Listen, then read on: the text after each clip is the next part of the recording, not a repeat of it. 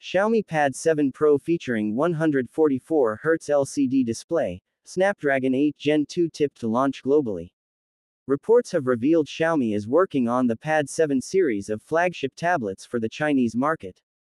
This year, the company unveiled the Xiaomi Pad 6, Pad 6 Pro, and Pad 6 Max in the Chinese market. The standard model was released globally, but the Pro and Max variants have remained exclusive to the Chinese market. Recent reports claimed that while China will receive multiple Pad 7 series tablets in 2024, it will only release the standard model on the global market. A new report reveals that the Pro model will also be released in markets outside of China. According to a report by GSM China, the internal Hyper OS build for the Xiaomi Pad 7 Pro has been spotted for the first time. On the basis of the existence of the global build of Hyper OS, it is being said that the Pad 7 Pro will be released globally. Unfortunately, the report does not reveal anything about the device's specifications.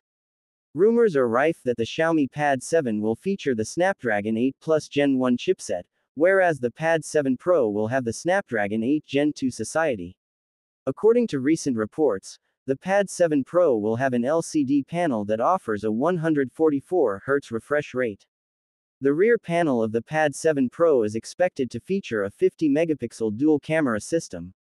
There is no word about the battery size of the device, but it is expected to support 67W fast charging. For audiophiles, the tablet will come equipped with quad speakers. Lastly, it is expected to run on Hyper OS 14 based Android 14. According to reports, Xiaomi will hold a launch event in April 2024 to announce the Xiaomi 14 Ultra. The Pad 7 and Pad 7 Pro tablets are expected to debut at the same event.